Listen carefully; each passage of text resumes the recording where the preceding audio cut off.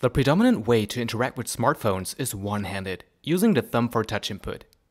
Since their introduction, however, smartphone touchscreens have kept growing in size, with current models often moving beyond the 5-inch mark. This means that users cannot comfortably reach all targets on the screen anymore without destabilizing their grip. Here is an example. The user points his smartphone camera to take a live photo. However, to enable the live mode, the user has to tap at the top of the screen. This destabilizes his device grip such that the user must point the camera again. We present ForceRay, an interaction technique that solves such reachability issues using force input. To aim at a distant target, the user applies a force touch to cast a virtual ray towards that target. Lifting the thumb selects it. Note that throughout the interaction, the camera position stays in place. Here's another example with many targets. The user wants to select a couple of pictures from the top rows. Since there are multiple targets crossed by the ray, the user can discriminate them by controlling the red cursor via force. The more force is applied, the further the cursor moves along the ray. When the desired target is highlighted, the user lifts the thumb to select it.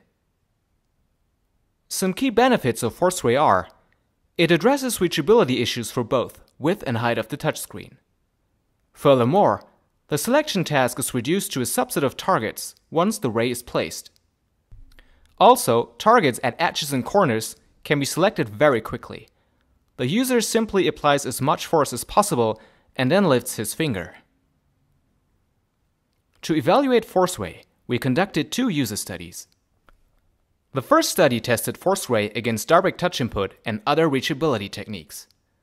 The one-handed mode downscales the UI and moves it closer to the thumb with a double tap, but small targets become difficult to hit precisely. MagStick controls a cursor that moves in the opposite direction of the thumb, but for large touchscreens, the thumb must still be stretched to reach far targets.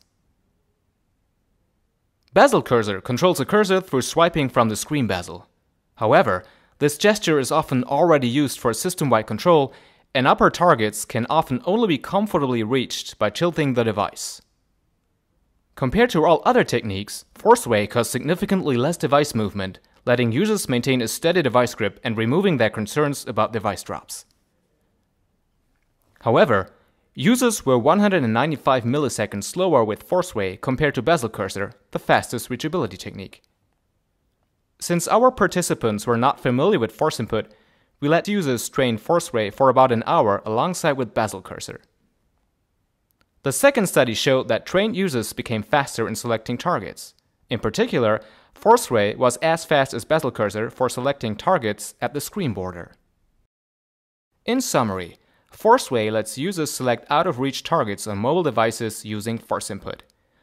This interaction technique causes significantly less device movement and enables users to maintain a steady device grip, removing their concerns about device drops. We conclude our paper with guidelines to address reachability issues for one-handed touchscreen use.